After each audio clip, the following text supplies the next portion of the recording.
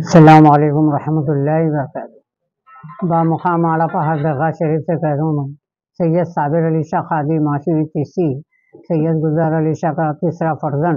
الحمدللہ، ہر سالانہ جو اجمیر شریف میں عرس شریف بنایا جاتا ہے، تو میں تقریباً کوئی سالوں سے سنڈر یہاں سے غلاف نامہ لے کے جاتا تھا۔ وہ لاک ڈاؤن کی طرف سے، جب سے ہم یہاں سے مبارک کر دیتے ہیں لنگر خانہ تقسیم کر دے کے پیری درگاہ میں لکھ جا کے آپ کا غلاف پیش نامہ کر دے کے زیارت کر کے سلام دعا عرضی رکھ دے کے الحمدللہ آ جاتے یا ایک دو گھنٹے، چار گھنٹے سما سن لیتا ہوں میں۔ سن لے کے سمجھو مریدین یقید من اور خلیفایاں بھائیاں میرے، بھونیاں، بھانجے، داماداں، بیٹے، پورے الحمدللہ پوری فیملی کے ساتھ موجود ہوتا ہوں میں۔ السلام علیکم ورحمۃ اللہ وبرکاتہ۔ الله من الشيطان الرجيم. بسم الله الرحمن الرحيم. وما أرسلناك إلا رحمة للعالمين. ما كان محمدا أبا أحد من رجالكم. وقاتب النبيين وكان الله بكل شيء علما إن الله ملائكته يصلون على النبي. يا أيها الذين آمنوا صلوا عليه وسلموا تسليما. ربنا تقبل من الفاتحة. جو غلاف مبارک نکالا جا رہا ہے۔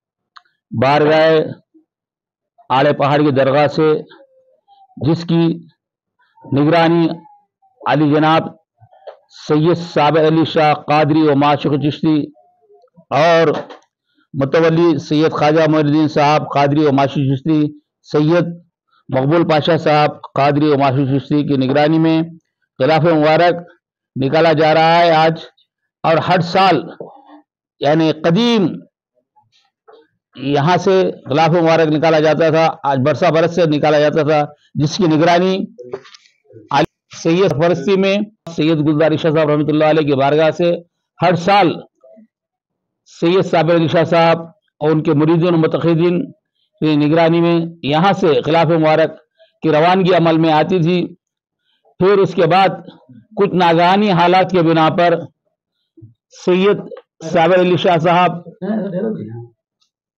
ہمیشہ یہ غلاف مبارک یہاں سے بھی نکالنا شروع کرے اپنے مکان سے، کیونکہ حالات وہاں پہ اجمیر جانے کے نہیں تھے۔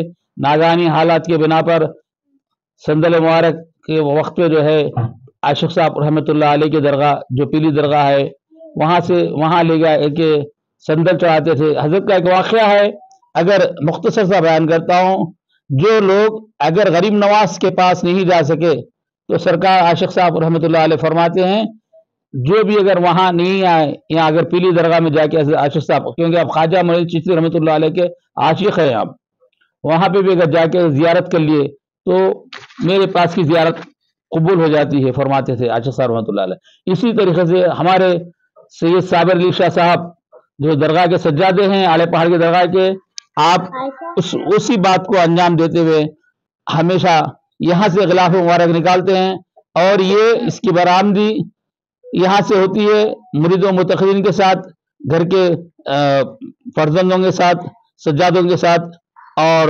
اپنے جو بھائیوں کے ساتھ لے جاتے ہیں، مریدین و متقدین کے ساتھ اور آپ جو ہے اپنے پوترا نواتا نواسی کے ساتھ یہاں سے لے جا کے جو ہے غلاف چڑھاتے ہیں اور صلاح سلام ہوتا ہے۔ اور پہلے یہاں پہ گھر پہ جو ہے لنگر لنگر خاص کے پاس سے آڑے پہاڑی درگاہ کے پاس سے، اس کے بعد بعد مغرب کے جو ہے لنگر کا اہتمام ہوتا ہے، اس کے بعد پھر لنگر کے بعد جاتا ہے ساتھ کیا جاتا ہے، اور ہمارے سید مقبول پاشاہ بھی آج موجود ہے الحمدللہ۔ یہ بہت خوشی کی بات ہے کہ ہمیشہ آپ رہتے ہیں اور آج بھی ہیں، اور سید صابر علی شاہ صاحب بھی موجود ہیں۔ ان سب کی سرپرستی میں جو ہے غلاف مبارک نکالا جا رہا ہے۔ ہم جس کے لیے ان کے شکر گزار گزار ہیں جو یہ کام انجام دے رہے ہیں۔ تمام مشاقین و مریدین و متقدین و علماء و مکان آڑے پہاڑی درگاہ کے پاس سے نکالا جا رہا ہے۔ آج بھی الحمدللہ محفل سما ہوگا۔ اس کے بعد غلاف مبارک کی برآمدی ہوگی۔ یہاں سے لے آ کے درگاہ شریف پہ چڑھایا جائے گا۔ سلاد و سلام ہوگا۔